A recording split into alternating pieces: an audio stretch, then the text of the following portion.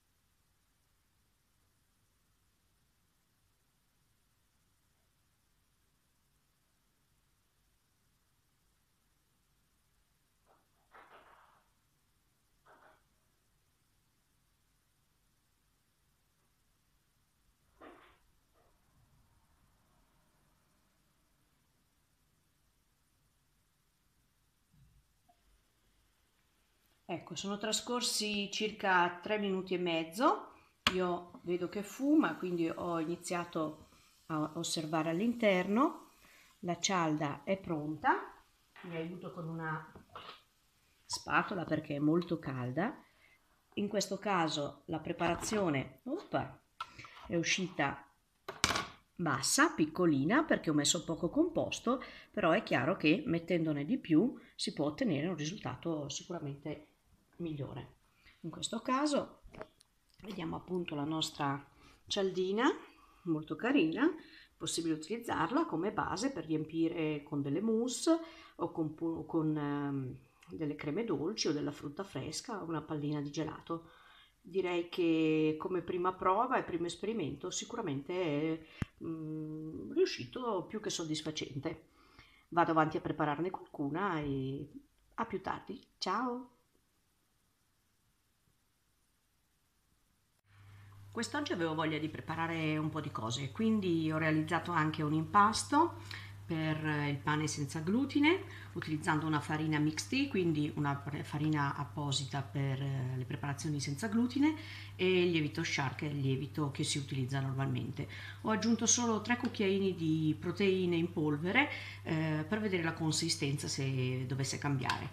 Credo di realizzare due stampini eh, a mo' di plum cake e un paio di pagnotte per uh, poterle tagliare e affettare. Adesso lo impasto. Allora, non so chi conosce questo tipo di preparazioni, in realtà l'impasto è molto differente rispetto alle preparazioni tradizionali, quindi lo lavorerò pochissimo, solamente appunto sollevo e metto all'interno dello stampo è bello soffice, bello spumoso. Lo stampo l'ho sempre oliato come prima con un pochino di olio di girasole.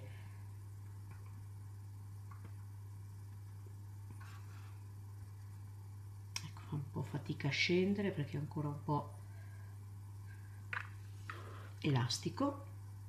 cerco di metterne almeno tre quarti all'interno dello stampo adesso poi ve lo mostro. Questa è la quantità che ho messo. Adesso si stende all'interno dello stampo. E con le mani leggermente unte faccio proprio due pagnotte senza lavorarle molto. Prendo proprio il composto lo appallottolo leggermente sulle mani e lo posiziono sulla carta senza doverlo lavorare troppo.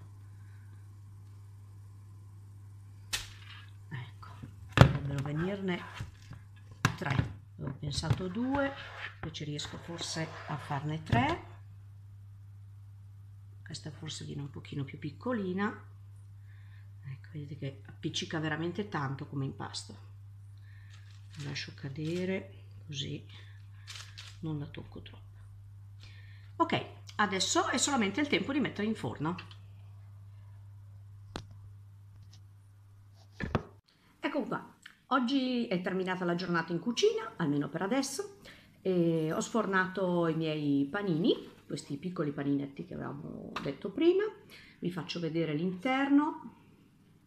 È ancora vedete fumante ma bello soffice potevo credo farli cuocere ancora un pochino però direi che non mi dispiacciono e invece come piatto principale oggi faccio questo piatto completo c'è dell'insalata avocado con semi di sesamo della pasta integrale e delle lenticchie cotte in umido con il garam masala.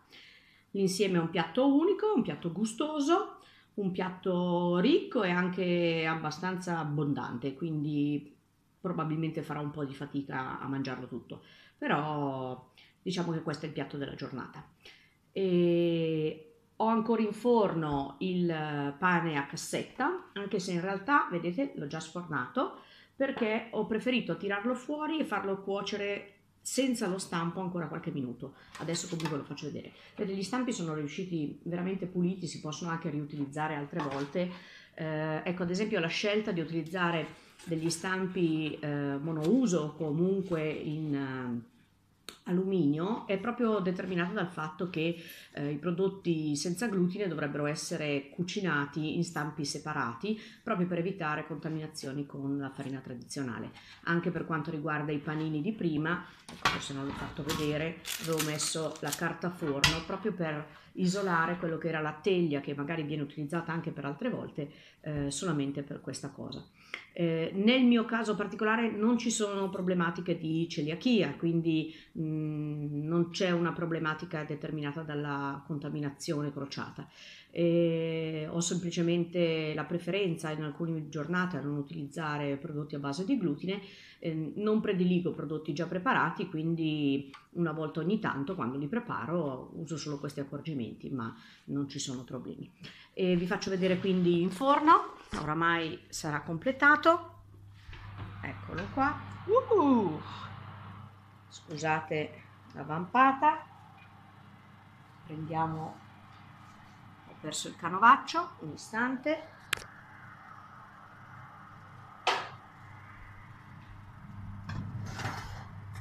Ecco qua. Tiro fuori il mio bel panino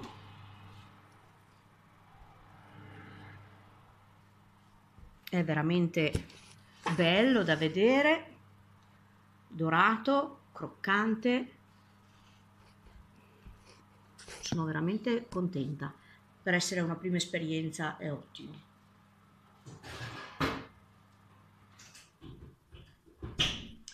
Provo a tagliarlo